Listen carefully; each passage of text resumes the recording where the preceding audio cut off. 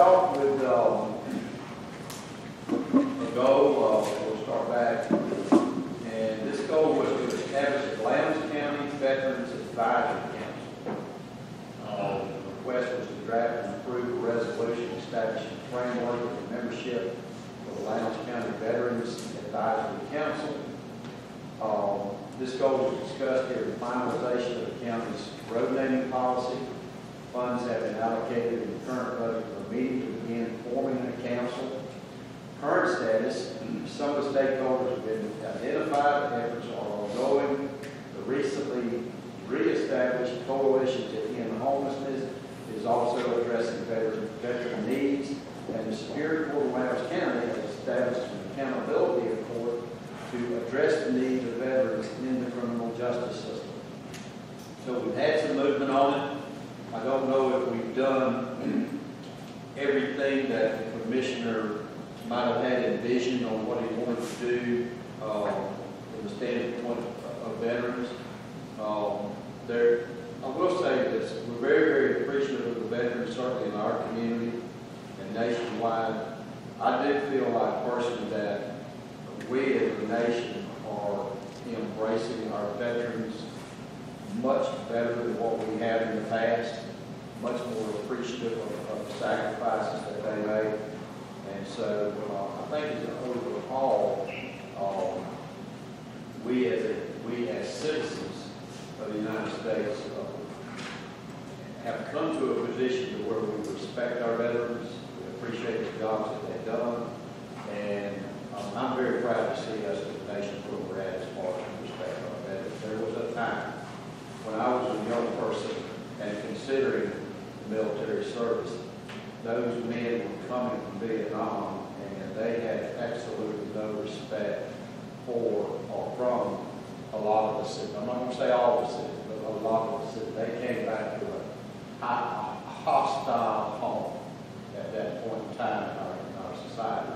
However, that is, uh, I think that's a thing of the past, or I believe it's a thing of the past, and that would, our, our nation would a lot better job with that, uh, embracing our veterans and, and proud of that. And I think Lowndes County does a fantastic job with, uh, as far as embracing our veterans, looking at what all their needs are. Uh, Again, we have to be careful. Lowndes County's role is not necessarily a role to provide social services for people or for the people. We're here to provide basic governmental resources that, that require the citizens. But if we can play a role and be, uh, and be part of how we support and continue to support the veterans in this community, I think that that, or I believe that that's a positive direction, that we need to always be, uh, focused on that initiative as well. So, Mr. Marshall, this was one of your goals. Do you see this kind of where you, where it's Um, moving forward, or? Myself and Fred, we had a little bit different frameworks from other municipalities and counties. Uh, Probably be trying to move forward similar to what other counties have done. The main thing was to get into something we thought would fit Lowndes County versus some of the other uh, areas. Some other areas were larger or in one sense or uh, too small in other so we wanted to really make sure got something good fit uh, for Lowndes County. So I'll be looking at the uh, the document we had, just to try to see um, how many members will be on the base, of, you know, like I said, how, how community with another community. that we.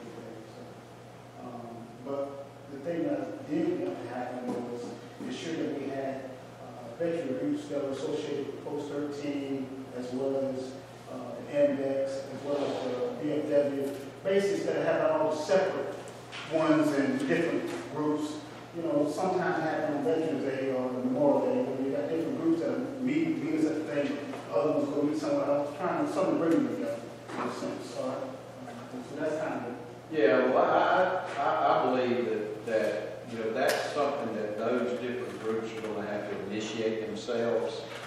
I do think that, you know, it would be, you know, if Lowndes County, and I'll use this as an example, if Lowndes County decided that, that we were going to do a, a big Veterans Appreciation event on Veterans Day. We then begin to get into their way, because they already are doing, have some great programs.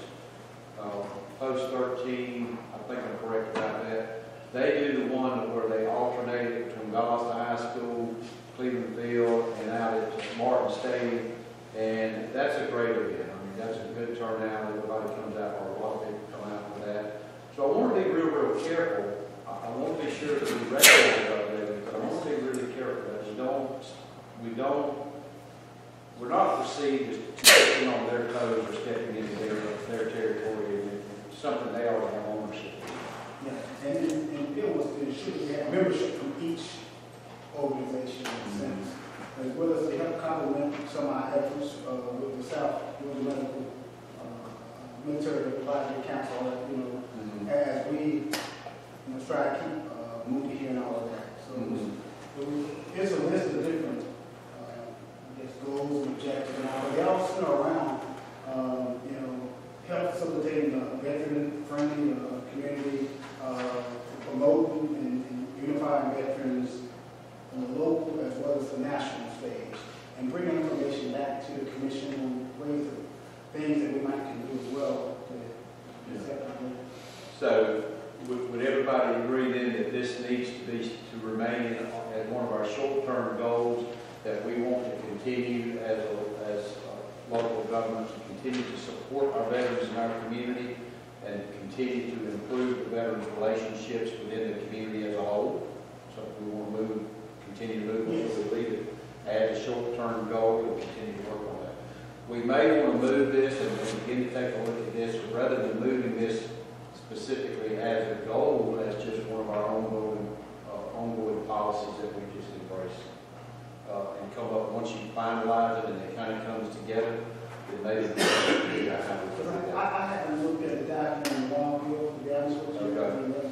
I like to look at it as well as everyone to look at it. Okay, And you can kind of get, an idea of what all, the other communities are doing, uh, Yeah. that that do happen. there's a lot of things that, I mean, I say a lot of things, I mean, there's some things that we can do. I just have a tremendous amount of respect for those veterans organizations that's already in place, and I certainly wouldn't want to take away from any of their efforts that they, that they're going through or- or that they're working on to help the veterans and support the veterans in our community. We can do some things maybe to, at, at certain events to help support them, I'm, I'm all for it. Um, But, uh, I just, I, I don't, I want to be real, real careful that we don't step on their toes, but they're already doing a great job and have for many, many years, and, and uh, so I just want to be cautious of that. Chairman, if we go through our list of holidays, paid holidays, and strike something and put in Veterans Day. We can discuss that as we move forward through this, so might want to put that down as something that we look at. I think we have, You talking about for next year? Yeah. already Yeah, the calendar. year. yeah, we've already approved the calendar Right, for coming. next year. We discussed that to recognize Veterans Day, but, but, uh, we can continue that discussion, and that when it gets time to approve the next year's calendar, we can address that. Okay. All right, next item was the uh, community water system risk analysis. We asked that the, that the staff compile the data over the next twelve months identifying the age, location, capacity, customer base of each private water system in Lowndes County, resulting in a financial analysis of the county's risk related to taking over individual systems and/or incorporating them into the county's existing system. Um, When this first came on, we re, re prioritize this as a long-term goal, What we do know it, it, even to address it in any fashion, it's gonna take a long period of time. What we, I think I'm correct, there's over eighty, between eighty-five and ninety of these systems in Lowndes County now, somewhere in that number. Uh, and some of those are aged from anything from probably 40 years to six months. Um, some of them were some of them are built under current county requirements, and some of them were just, in, in all honesty, just be put in. Um, because we have our um, trust indenture that we have to enter into with these systems, and we know we do run a risk with those systems of eventually the possibility that the county could possibly have to take a system, a system over. Um, and of course, when the county takes the system over, we have to bring that system up to the standards that we would be required to meet uh, by EPA, EPD, uh, um, to be able to serve the citizens of Lancaster. County. That can be very, very expensive as some experiences that we've already had. So my goal was with this, again, was to look at this data and see where we needed to go with private water systems in Lowndes County as far as the future goes. Um, Staff has expanded that effort to not only identify the location and the risk of private water systems, but also to identify existing systems that are near county infrastructure. And consideration for that will be presented at uh, this meeting uh, while we're here at retreat. Um, I think that this is still a long-term goal. This is something that I have some concern about um, from what theoretically the uh, budget impact could be to our budget, which is basically the citizens of Lowndes County, their, their budget. Um, So without really delving into this, I mean, y'all know this is an issue that we're going to have to do some consideration on. There are some concerns about some of the older ones and actually some of the newer ones from the standpoint that they, they still don't come up to the standards that Lowndes County would like to have from the from the fire protection side, from, from the water flow capacity, correct? And I- so I think that we may want, one of the first things that we may want to look at is what, what those regulations call for from the standpoint of if a private provider puts in a private system, does he need to put the infrastructure in place and the water system in place that would be able to supply the water supply that the fire department will be able to depend on at the fire hydrant to be able to fight a fire in a particular subdivision, wherever that system's located. I think that's very clear. I think that they do in some cases put in the hydrant, but they might not necessarily have the flow. So it doesn't do us a lot of good to have a hydrant sitting there without, without water to serve. Well, it, it can, uh, it gives somewhat of a false sense of uh, safety. in Certain individuals they could move into, or they look at a piece of property and they see that there's fire hydrants there and so forth. But for the actual use of it, uh, it's, it doesn't have the capability to work with our system without us blowing the whole thing up. And, and I do think that your goals have changed somewhat, your your priority has changed somewhat from a year ago related to the utilities department.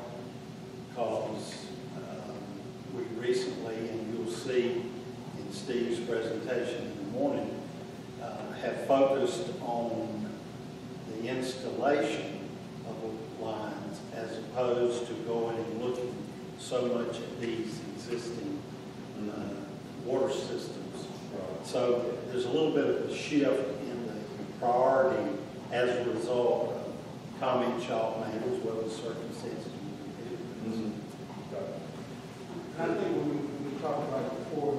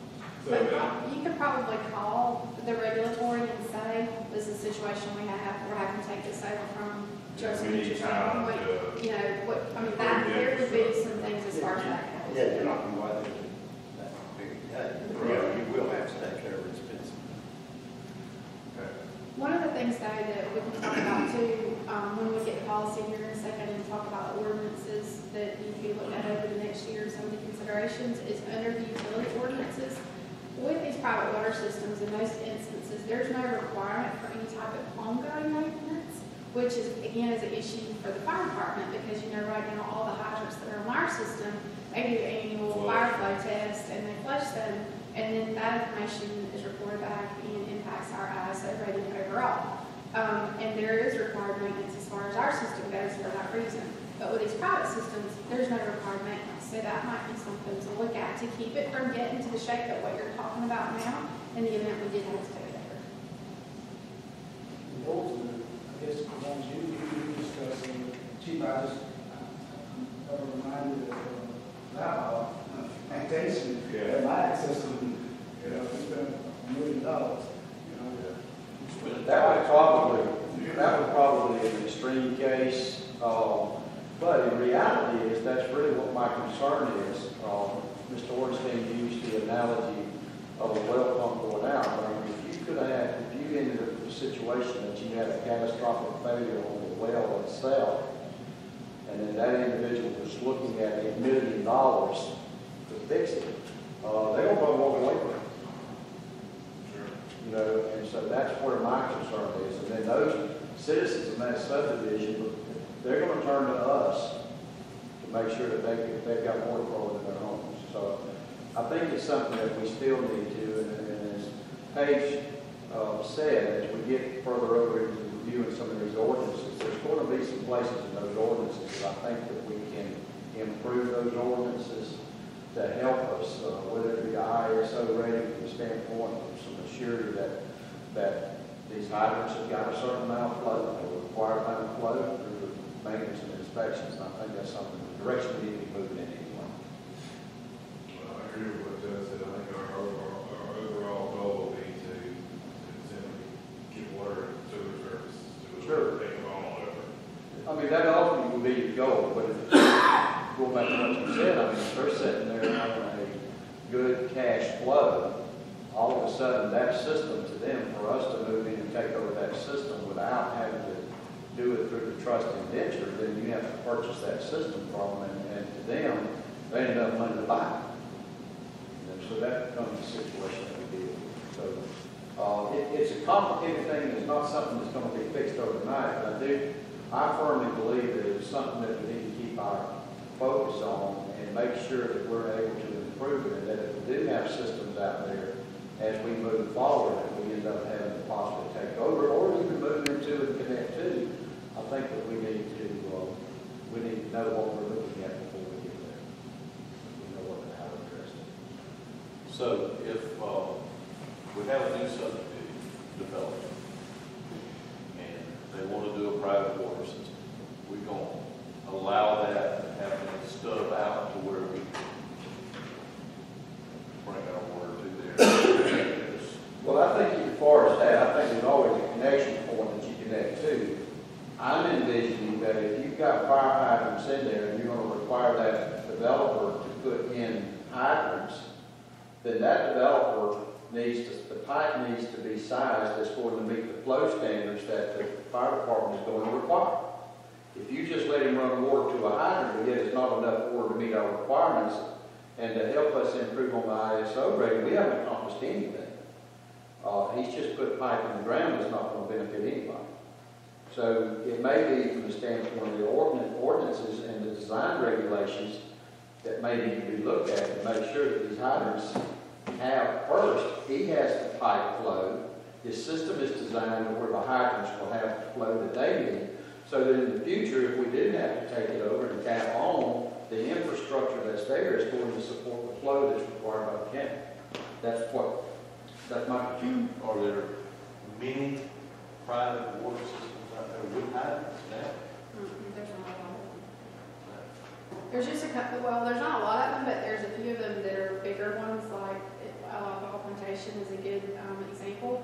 But also, one of the things that Mr. Pritchard's had Steve working on is to find out if you were gonna put a subdivision, um, build a subdivision with a private water system today, and do it at the cost that you would do it to make it profitable for that development. And then if you were gonna do it, if the county did amend their ordinances and say that you had to build it to that certain standard, just like what you were saying, Steve was gonna try to find out for you all what the difference in that cost would be, so, you know, you would know ahead of time what the increase in the investment to that developer might be. looking at it this way, if we didn't have a community well system, and we were supplying water, if we were, at- if we were there at a location and we were gonna supply water into the, into a subdivision, and they were, it was not a private well system, we would require that developer to put in the infrastructure that would meet the requirements that the county would need to have to be able to supply those hydrants. I believe that we may need to look these, these ordinances to make sure that these that are not close enough to require hooking to the county system, that they also be built to the standard so that when you hook up to them, they're good to go. And we need to look at that and see what that costs is. It requires it if they're hooking to it. I mean, if we're there, it requires them to build at a certain standard. Why not if it's a private system in a subdivision, part of that, those regulations require that it be built to the county standards. We require the roads to be built to county standards.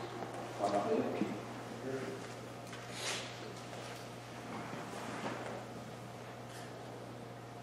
So again, we'll keep our eye on that one as as it moves on and continue to focus. All right, our next uh, goal was the Bemiss Fire Station facility, was upgrade that for the addition of EMS. Uh, At that time, we to finalize the plans uh, to partner with South Georgia Medical Center to design and finance the facility improvement to provide for the housing of EMS at the county's fire station on Bemiss Road in order to enhance emergency medical response services.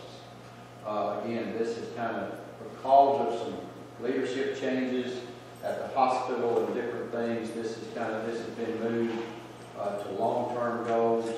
Um, uh, This may, this particular item may come off as a goal altogether because the- there it has been just a conversation that the hospital may be going in a different direction rather than partnering specifically with Lowndes County to add on to a facility that we have, doing something on the lines of a freestanding facility so that they can still serve, serve the folks better up in the northeast quadrant of the county. So they'll be considered.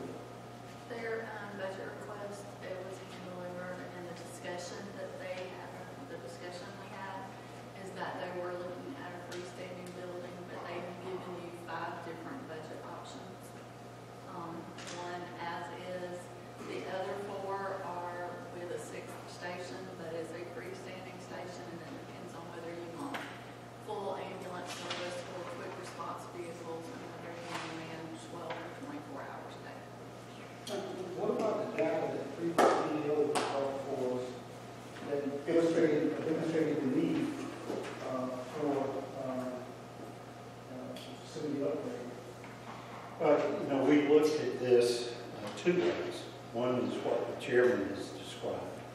And we also looked at it during the P4 initiative where Moody wanted to negotiate with SGMC to provide a service on base, but would also be able to serve that northern section of the community of the county.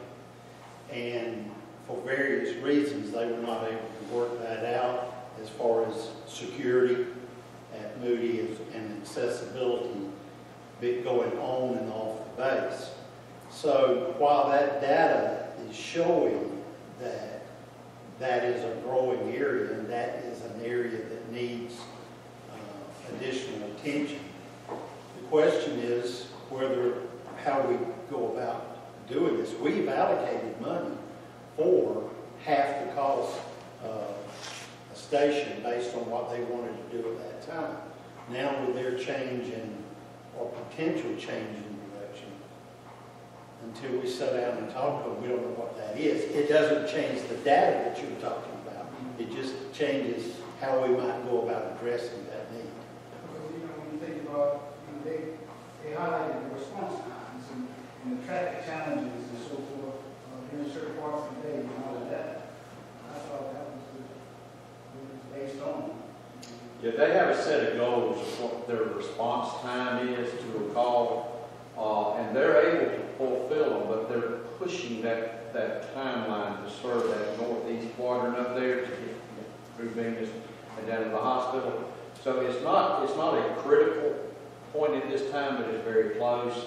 And so that's the reason why we were looking to partner with them to help that area up there as well. And we had the facility and identified the facility, it was gonna be a good fit. Um, so I'm kind of interested in delving into these five options, and I'd like to know if they've got a sixth option is, and that is say, do what you want to do and leave us out of it. That's my opinion. so, He'll be interested in the cost of the sixth station versus the other five. Yeah. Okay. So I would say, based on the latest information for the budget request, this is still a short-term goal. At this point, till we get through the budget. Okay. All right, specifically now, we're moving to items that, at that time were identified as long-term goals. Uh, One was to establish a plan for broadband capacity and speed improvements, identify the stakeholders in this process, define the current capabilities, develop the scope of work, and possible funding mechanisms related to improving this service in accordance with local needs in an effort to encourage community-wide economic development. Initial research indicates this goal will require significant investment. Officials continue to discuss ways to, for local stakeholders to collectively begin formulating the plan. Budget constraints, a lack of available grant funds, and rapidly changing techno- technology are factors that we have to consider. The current status is additional research has been completed regarding the goal, further, this issue has now gained attention at the state level. Um, there's been a good bit of work, Mr. Pritchard has some information, I think it's in your, in your binder that will. If you, if you look close to, if you want to do it, with that, like- if you want to look closer to the back under broadband, I asked um, Aaron and um, the regional commission combine their efforts to look at this corridor for uh, broadband capabilities. And uh, some of the information that we have in here is on the, on the two maps, and I have these on the bigger maps that you'll be able to look at. Um, It shows you the address points in this area, and the area is from um, North Oak Street all the way to county line. And that's about 7,600 address points. Now, on the very first map that you're, that you'll see there, you'll notice some lines on the edge here. Those are delineating uh, green space areas. And um, what we're trying to, to look at is what is available in those areas. And if you turn to the second map, you see in the legend there that there are some towers available. Um, the, there's, that's from provider one, and then there's also provider two. Those uh, darkest red areas on either side of Bemiss Road, both of those housing developments there have one gig capability to the home, through cable to the home. To my knowledge and what Aaron and Chris told me, that is probably the fastest speed in the county. And it's also cheapest rate in the county. Now, you'll, you'll note that um, the kind of pinkish area, um, that area has not really, there's capabilities there, but it hasn't been utilized. Um, So we would like to be able to delve in a little bit deeper as to, determine the needs. What first brought this to our attention was discussion from Moody related to capabilities on the base. And if y'all remember, the number of, well, maybe what, a year ago, two, year and a half ago, um, the base was woefully unaddressed as far as broadband capabilities. That, within, within the base, within the fence, has been addressed. What they're telling us now is that there are personnel, new personnel, along this corridor that are not served or are drastically underserved, and their capabilities are, are not really functioning at this point. So, um, we are continuing to work on this. Obviously, we're putting provider one and provider two as, as far as being nondescript because some of this information is proprietary and we don't want to get into those kind of issues. But we do want to continue to work with approval of the commission on accessing this area. And one of the things I mentioned to the chairman in discussing this yesterday, this is very critical as it relates to Moody Air Force Base. And this is a big deal. But when you step back from this to a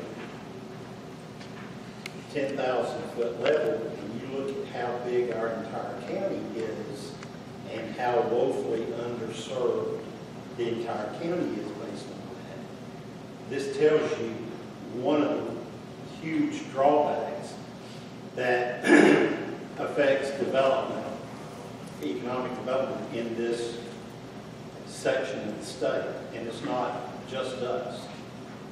Uh, And it, uh, it's a huge problem that's going to have to be addressed if we're going to be a competitive community. It's not only now uh, transportation, water, sewer, it's your ability to provide this type of broadband connectivity.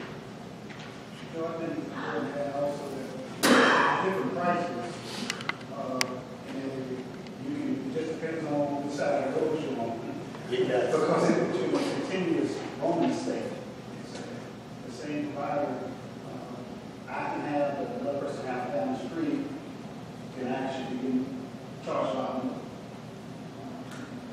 And and one of the providers is also down in this area, in the Lake Park area, that uh, they came in and they provided service to us at our utilities board. But this area also is drastically underserved, but not much different from other areas of the county as well. Yeah, it, it's just like Mr. Pritchard said, I mean, we recognized all along, and I believe the state is now beginning to realize that, that the lack of rural broadband is a huge economic development issue for the state. But it's not, not only is it an economic development issue, but it has, it, it is a quality of life issue that we have to address. I talked to a citizen just yesterday, uh, lives down in, in the Lake Park area, And when he first moved here and bought his home, his daughter had to go five houses down to a neighbor's house to be able to do their homework, because they didn't have broadband capabilities, she do her homework on a computer or laptop. Those are quality of life issues. Uh, there's, there's many of issues to where people in their businesses now can have a better quality of life where they can spend some of their hours at home doing their work, their, their business and how they make their living, which makes a quality of life issue. They're forced to stay longer hours and work the weekends in their offices just because they don't have those capabilities in their homes. So it, it, it is an issue that statewide, they're beginning to recognize it, but I'll be honest with you, they're moving very, very slow on it. And it will continue to be a slow process. Um, and Mr. Pritchard is absolutely right for, this area has a tremendous amount of importance to Lowndes County from the big picture of how it affects the quality of life of these areas that are out at Moody Air Force Base. And Moody Air Force Base being an eight hundred and fifty million dollar a year economic impact to Lowndes County, it makes this kind of priority one, you might say. But the overall goal and the overall emphasis is a quality of life issue for the citizens of Lowndes County as a whole. Now, how are we going to go about addressing that? Um, that is a huge, big ticket item. I mean, it is, it's huge to do that. And not only is it huge to do it, but it's like we talked about, technology changes so fast. There's so many different providers that basically are already there, uh, you know, from local government to say, okay, we're gonna get into that business. Tough nut to get into because all these people already have the infrastructure there. They're just gonna bottom out the prices. And you, and you're gonna have spent millions of dollars for infrastructure that you'll never get any kind of return. So we've got to try to figure out how, that, and this is through the state and through the feds, how you can incentivize these local providers to go ahead and build out their infrastructure. That's what they're not doing right now. They're making those decisions. It's not, gonna- it's not any benefit for me to run two miles of fiber cable down a rural road to pick up five households. You know, so we've got to get away from that, figure out how we can get that developed. But this is something that's extremely important for Lowndes County as we move forward. It's extremely important for the state of Georgia as a whole. But to bring this down into a focus of what is priority one, it's something along these lines to make sure that these airmen, the majority of them living in that corridor out there, has the quality of life issue, has broadband services that they need. Uh, again, when folks come in and we're looking at twenty nineteen, uh, a good probability of that. Quality of life is gonna be one of the things they're gonna be looking at. And if quality of life anymore, from my standpoint, my perspective, broadband capability in the home is just as important as electricity in the home was fifty years ago.